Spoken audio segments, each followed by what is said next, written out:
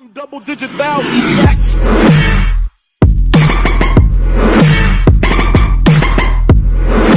ครับผมกลับมาพบกันอีกครั้งกับ IMG Channel ครับ วันนี้ครับอยู่กับเจ้าตัวนี้ครับ OnePlus 3T ฮะ 3T นะครับตัวนี้กับ iPhone 7 Plus ฮะนะครับ A10 ตัวนี้ CPU A10 กับ Snapdragon 821 ฮะ เดี๋ยววันนี้จะมา test แอปพลิเคชันให้ดูครับ เริ่มกันที่อะไรก่อนดีเอ่ย test speed test ของอินเทอร์เน็ตแล้วกันฮะ ว่าตัวไหนนี่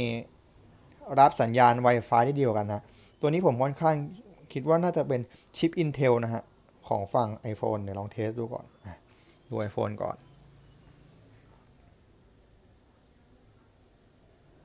อะ ปล่อยมันไปก่อนนะครับระหว่างรอมาดูฝั่ง OnePlus เล่นก่อนนะ OnePlus นี่ตอนนี้ก็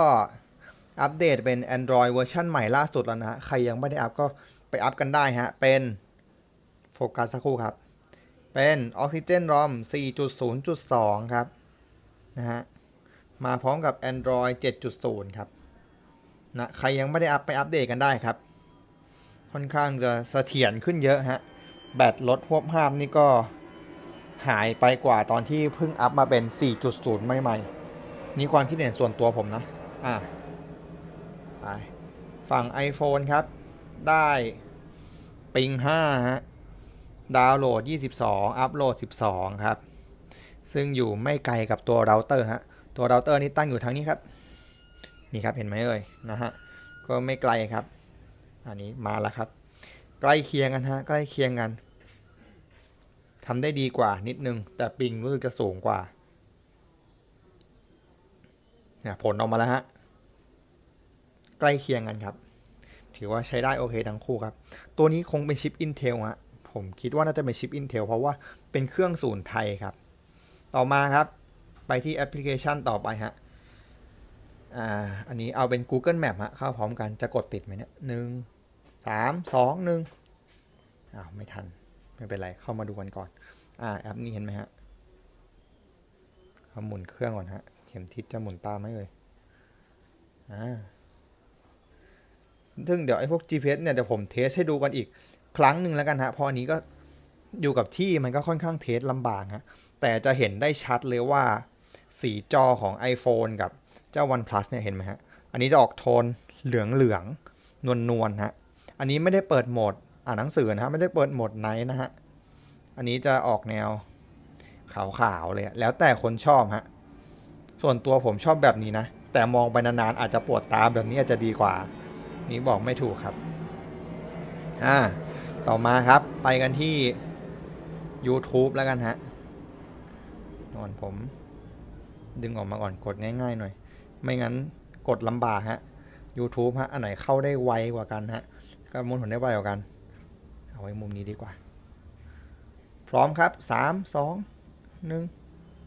เอาพกกดไม่ติดอีกแล้ว เอาใหม่ดีกว่าครับ จะได้เห็นกัน อันนี้มัน เหมือนจะ ไม่ค่อยพร้อมกันเท่าไหร่สามสองหนึ่งอ่านี่ครับ ผมดูไม่ทันอะ ใครดูในคลิปดูทันนี่ก็พอๆกันนะฮะ ดูแล้ว ไม่ค่อยแตกต่างกันเท่าไหร่ฮะ My m a d e เนกับ Sunberry ฮะ อย่าลืมไปกด Subscribe พวกเขานะ สนุกมาก ไป ต่อมาครับ ไปที่ไหนกันต่อดี Facebook แล้วกันฮะ ง่าย ๆ ครับ เดี๋ยวก่อน เอา Facebook ย้ายมาก่อนฮะ ไม่งั้นกดยากซะเหลือเกิน Facebook ครับ 3 2 1 โอ้ทางขวาโหลด OnePlus ทำได้ดีกว่าฮะ การดาวน์โหลดของ OnePlus นี่ทำได้ไวกว่า เห็นได้ชัดเลยนะฮะ ต่อมาครับ Line ครับ แอปที่ทุกคนใช้กันฮะสามสองหนึ่งไป พอกันครับปกติฮะ การเลื่อน ลื่นครับ มันเลื่อนอยู่แล้ว2ตัวเนี้ย เพราะอันนี้มันก็ดีสุดของฝั่ง iOS แล้วอะ Snapdragon กับ RAM 6 GB 821 นี่ก็ตอนนี้ก็ดีสุดใน Android ตอนนี้นะฮะนะก็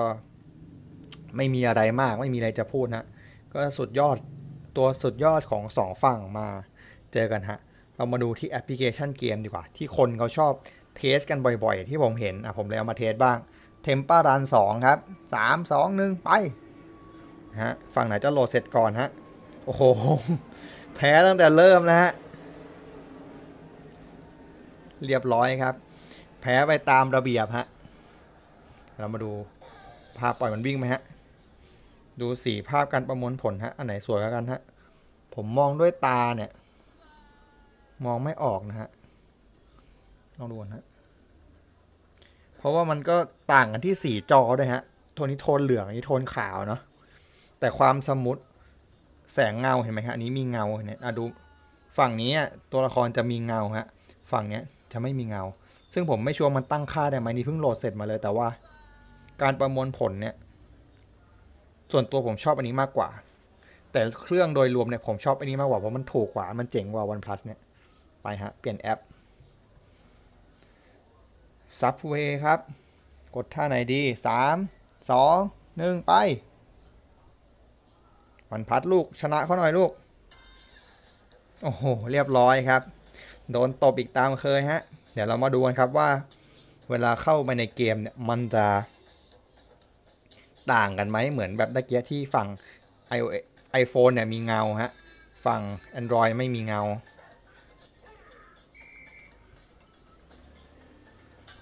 อะชนกันเข้าไปอะนี้ไม่ต่างครับเกมนี้ไม่ต่างค่อนข้างไม่ต่างครับ ถือว่าไม่ต่างกันนะฮะค่อนข้างจะโอเคเลยทีเดียว ต่อมาครับ เราเข้าไปที่กล้องกันดีกว่าครับ ว่าตัวไหนจะเปิดกล้องไวกว่ากันฮะสามสองหนึ่งปั๊บ เอาใหม่ฮะ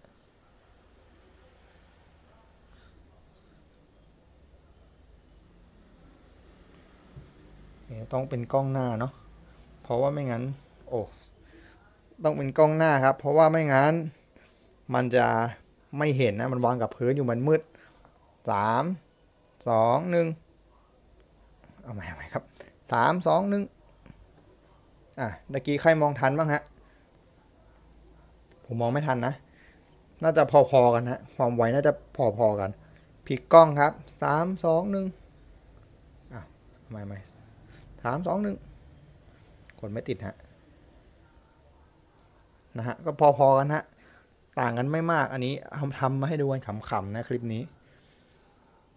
เพราะว่าการใช้งานจริงเนี่ย มันก็ มันจุดหนึ่งอะมันแทบไม่ต่างกันด้วยอะผมก็บอกยาก เราเข้าเบราว์เซอร์ดีกว่า โอ้แต่มันก็เทียบกันไม่ได้อีกผมเป็น Safari อันนี้เป็น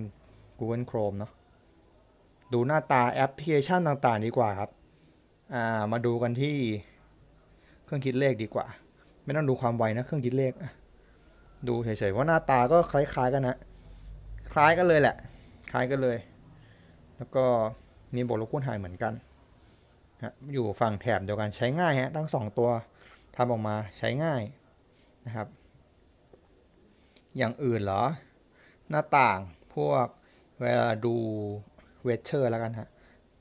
temperature นะครับอ่าหน้าต่างมันก็จะ ไม่ค่อยเหมือนกันเท่าไหร่ฮะ เพราะว่ามันคนละฝั่งกัน เออยู่ไหนเอ่ย Music อ๋อเจอแล้ว หาแทบไม่เจอ นี่ครับ อ่า นี่ ฝั่งนี้จะฟลุ้งฟริ้งกว่าฮะ แต่ก็เหมือนกันแหละครับ เหมือนกัน แล้วแต่คนถนัดแล้วแต่คนชอบ การใช้งานจริงเนี่ย ทั้งสองตัวเนี้ย ทั้งสองตัวเนี้ย ผมมองว่ามันครบถ้วนทั้งสองตัวแหละ ความครบถ้วนเนี่ยมันครบถ้วนใช้งานได้ครบทุกอย่างนะฮะ อยู่ที่จะชอบแล้วเราว่าชอบระบบปฏิบัติการทาง iOS หรือว่า Android แต่ถ้าเกิดมีงบจำกัดตั้งมาเนี่ยว่า เอ้ย ไม่เกิน 20,000นะ ยังไงก็ต้องตัวนี้ครับ เพราะว่าไอตัวเนี้ยมัน 30,000 กว่าบาท 35,000 ครับ ประมาณ 35,000 36,000 ตัวสีดำ128 กิกเนี่ย อ่า ใช่ พูดถึงเรื่องกิก ถ้าเรากิกกิกเท่ากันฮะ หน่วยความจำ128 ตัวนี้จะประมาณ 17,000 18,000 ครับ ตัวนี้25,000 35,000 ซึ่งซื้อเนี้ยได้สองเครื่องฮะแล้วก็ต่างกันไม่มากครับ ไม่มากฮะมาดูแอปฮะที่เปิดค้างไว้ก็การก็เลื่อนครับ เห็นไหม